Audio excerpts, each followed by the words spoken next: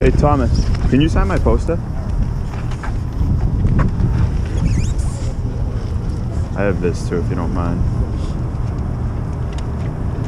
That. Anyway, it's fine. Thank you very much. Good luck tonight.